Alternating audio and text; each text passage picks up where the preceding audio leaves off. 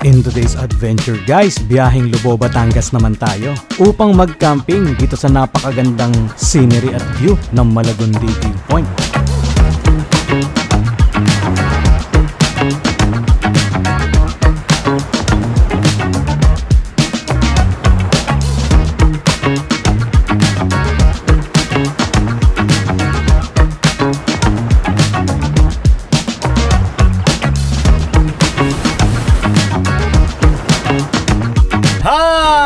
Papunta nga tayo ngayon sa Malagundi Viewpoint. Hanap tayo ng campsite doon. Wala pa tayong uh, exact place kung saan. So kasama naman sa buhay, maghahanap tayo ng magandang place na pagkakampingan natin doon. For today's video, kasama natin ang ating buong pamilya, Hazen and Janice. Nakachair dumagat at yung ating bagong import. Hello! si MJ! Marjoni! Marjoni! Di ka master vlog guys, walang reply, walang hindi niya nasisin, wala yata siyang load. Naghintay kami, kalahating araw. Busy, baka may trabaho. So next vlog na lang natin siya makakasama. Tara na!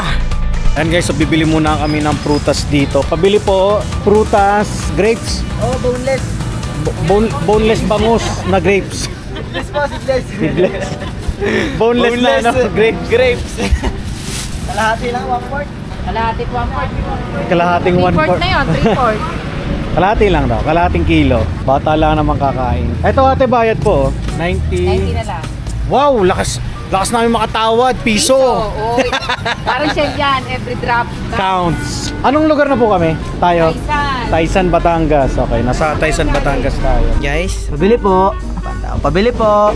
Hindi pa tayo ng tindahan kasi walang tao. So yun guys, maghahanap muna tayo ng ibang tindahan na hindi sarado. So yun guys, pinakita na tayong tindahan dito malapit na.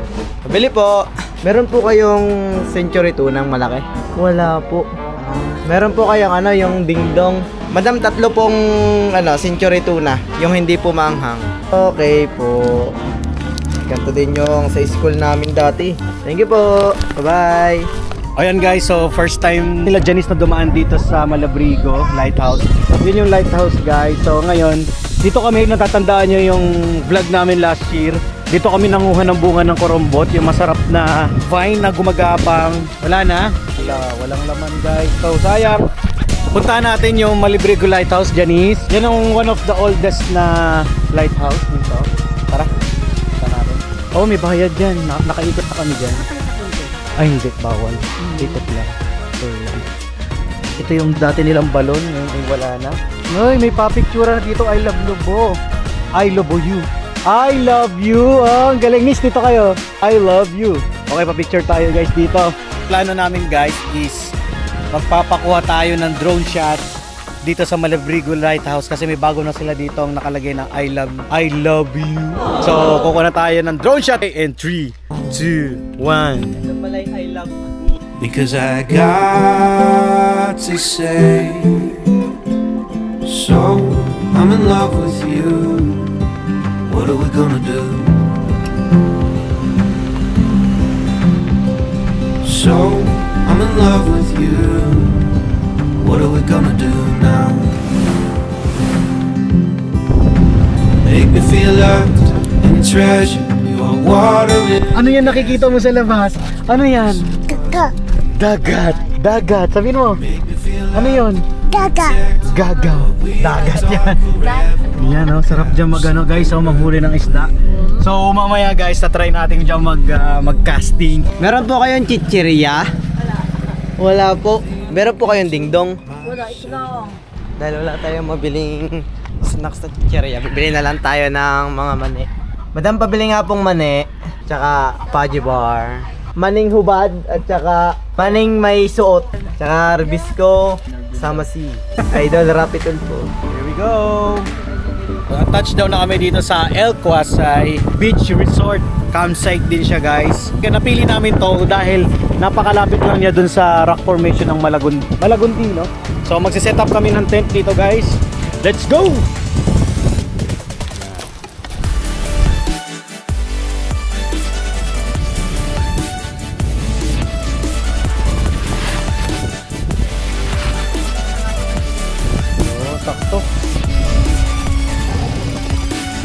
Sobrang lakas ng hangin ngayon dito sa Lubo, Batangas kaya tatalian na muna namin sila para kapag kami ay nag-inflate, hindi siya malilipad. Delikado siya malipad doon. Barbed wire yun, baka maputas yung ating inflatable.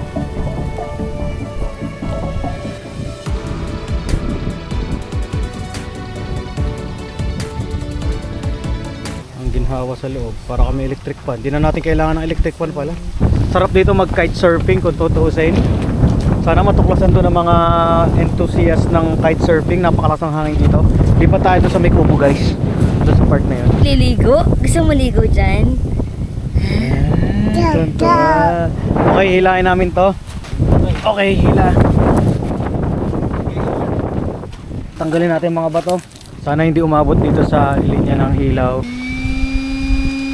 Hazen! So yung sineset up na na namin guys. Dito malapit na lang sa may kubo Yes, Hazen, Daddy Ha? Po daw. Opo, opo, opo Hello! Hello Okay ka mami oh yung dumidi yung. Yun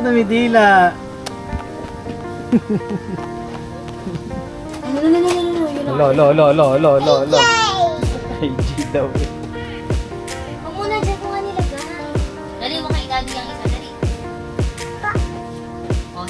Ganda ng setup. Gusto niyo ba dito, Janice? Maganda ba? Ayan yung ating tent guys. Napakaganda ng spot na to, maginhawa.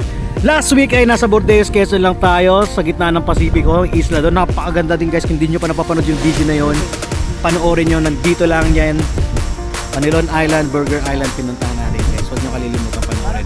And check the notification bell and subscribe button na rin kayo guys. Sasabay na rin natin sa araw na to ipag-unboxing natin ng Telezin Dome Port. Uy, nahulog agad. Or Action 3 or Action 4. Available in Shopee and Lazada guys.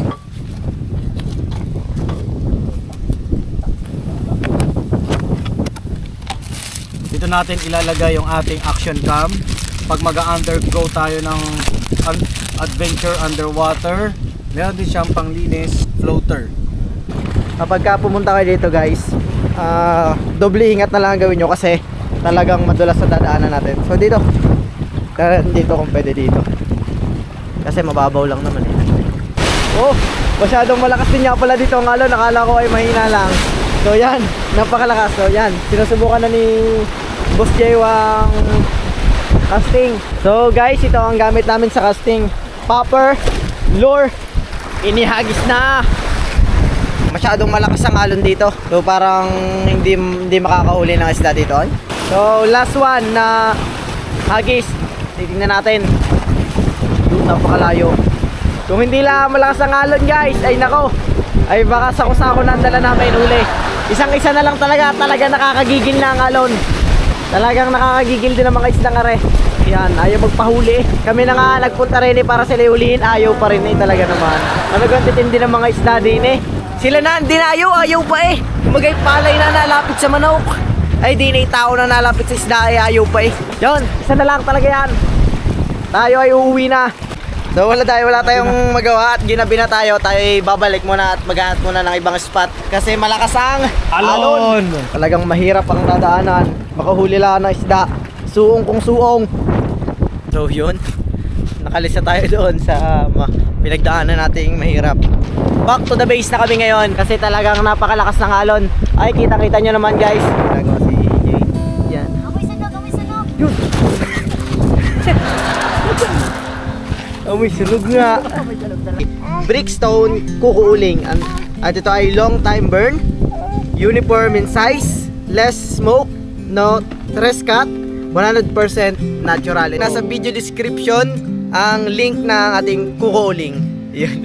Bakit mo nilalagyan ng ganyan ng ating Ito ay uling? para mas mabilis lumingas. Yun. Ito ang kailangan natin. Kukuuling.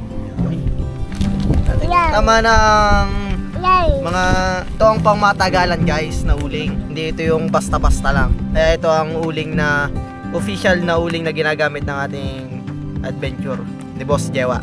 Ayan, i-adobo natin yung isda. Sarap. Yun! Okay na! Maluluto na rin ang ating adobo. So si Marjon guys ay nagsiset up ng ating ah, ihawan. using our napakagandang uh, kukuuling brickstone. Napakatagal niyang maubos. Ayan, si Aiden. Nandito sila guys sa kawa. Laking kawa guys, yung kasya ang tao. Lulutuin ka. Ay, So, lutuin kaya natin to. Picturean lang natin na. Ulo, umiyak na! Umiyak na, Bukas na. Siya bukas, na, bukas bukas. na lang pag maliwanag. Takot siya sa kawa. Hindi mo kasi eh. Grabe guys, takot si Aiden sa kawang to. Meron na tayong sausawan ng ating ah, inihaw na talong. Yes. Then, ang ating ah, chef na si Janice. Chef. Mami chef. Nakakaya sa mga totoong chef. Ito chef natin. Oo, oh, di ba? Official chef natin.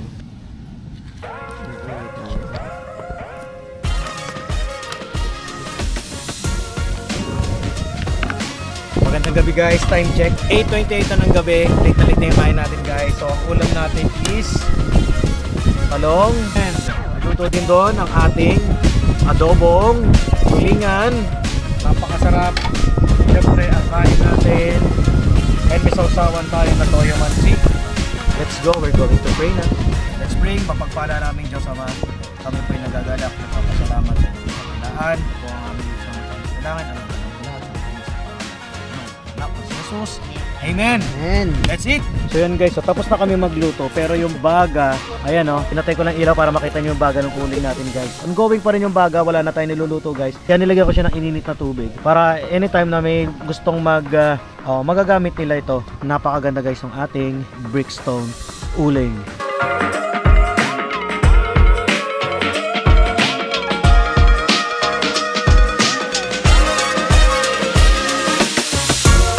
Ephesians 4:29 yung King James Version.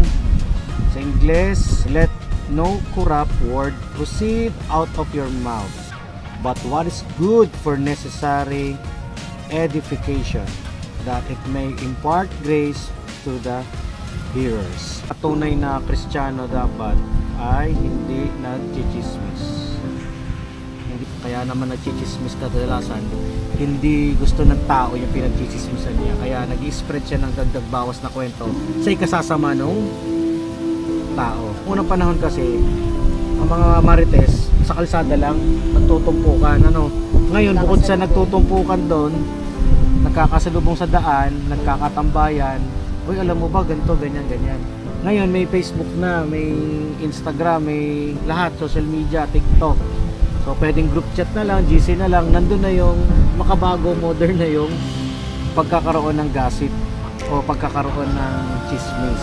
Ano, napakabilis daw kumalat ng kasinungalingan. Akala nila yun ang totoo kasi yun ay kasinungalingan na paulit-ulit nilang naririnig araw-araw. Yan ang strategy ng kalaban or ng satanas. Ge- Getting even by gossiping might momentarily provide a more than sense of pleasure. Sa una, masaya siya kasi napapag-usapan niya ibang tao. Parang parang buhay na buhay ang ating diwa kapag mayroon tayong pinagchisismisan. Ganyan daw yan.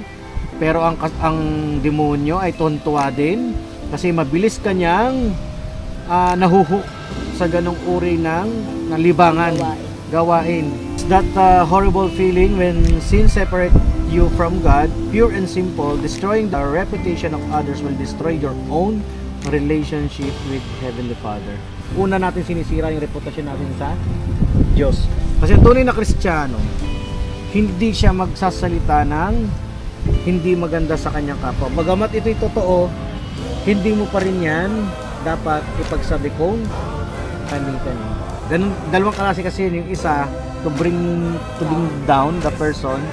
Yung kabilang side naman, yung na-exaggerate natin yung katangian niya, na sugarcoat natin.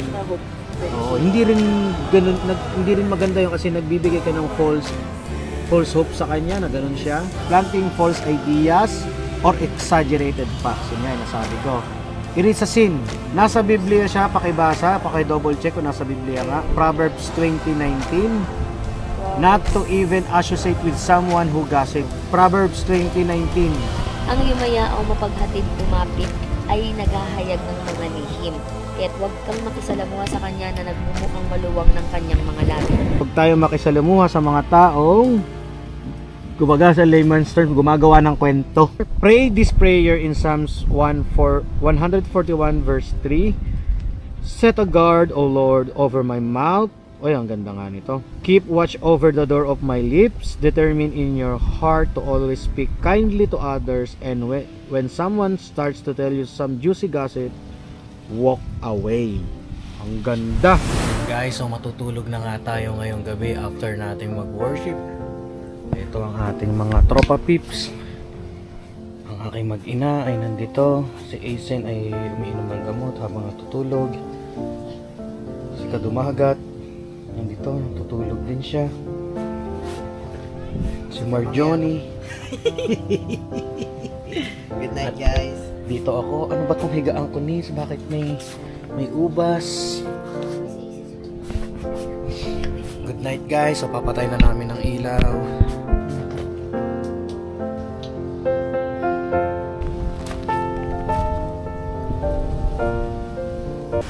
Good morning. So nagising tayo ngayon is around 5:30 or 5:29 in the morning. Grabe guys, ang hangin dito. Ang ating wind is 26 km per hour tapos direkta sa atin yung hangin no. Parang lilipa rin yung tent natin pero wala namang ulan. Luckily walang ulan.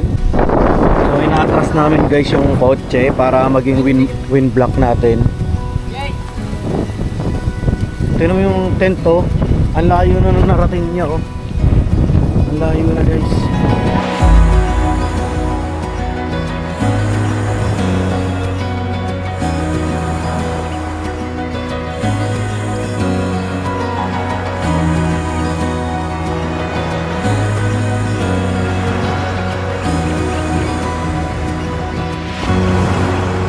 Good morning again guys. So medyo iba na yung klima ngayon, maganda-ganda na. Meron nga pala ditong for rent sila na mga pang ah, paddle board, may small, medium, large. And meron din sila nitong malaking, hindi ko lang kung tawag dito. Inflatable din siya guys. Nung malaman ko nasan kami, El Quasay Beach Resort. Isa, isa to sa mga favorite spot namin. So marami ditong campsite guys, Ka- kaliwat kanan, puro campsite dito. Itur ko na rin kayo sa mga campsite. So ito campsite ulit oh. Campsite ulit itong spot na to. Kung mula dun sa amin, pangalawa, pangatlo, campsite. Ito ang ating almusal ngayong umaga. Yung pulang itlog at saka alam niyo naman pinaka the best sa umaga ang ating hawot tuyo. Yan, tuyo. Tapos ay meron tayong mainit na tubig para sa kape mamaya. So yan.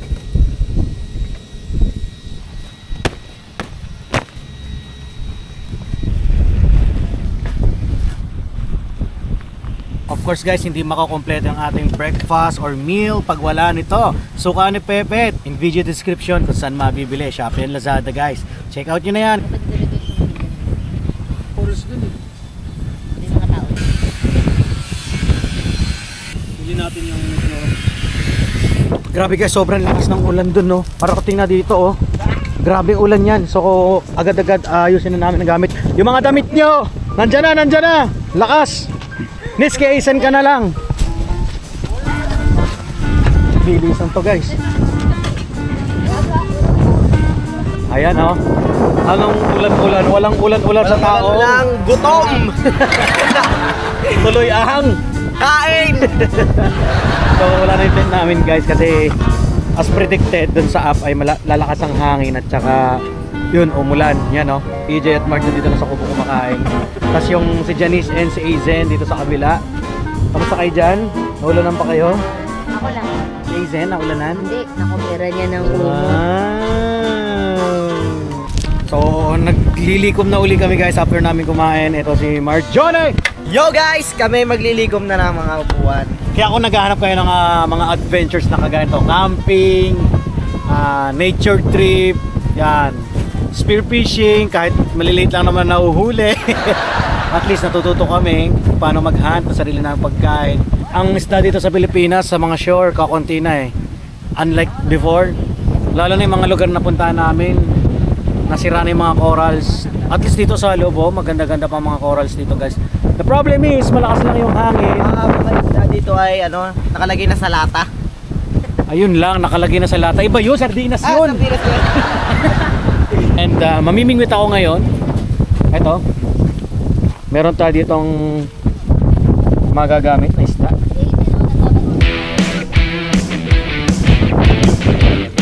Guys, so Lagyan natin ng napakaraming pain. Sana pag-agis hindi matanggal. Kitang-kita nyo naman guys. Grabe, sobrang lakas. Hindi talagang... Talagang hindi mag... Parang ayaw magpahuli ng mga isda dito dahil sa karagatan, no? Grabe yung alon, ang laki guys. Yun. Unang hagis. Tuna agad yan, tuna. oh. Yun. Kinagat na agad guys. Ubus na agad yung unang pain. Kinagat na agad ng tubig. Yun. So, walang no choice kundi bumalik sa aming Campsite! campsite. And paalis na tayo. Maraming salamat sa panonood and see you in the Next! ano ngayon? See you in the next one! Goodbye in the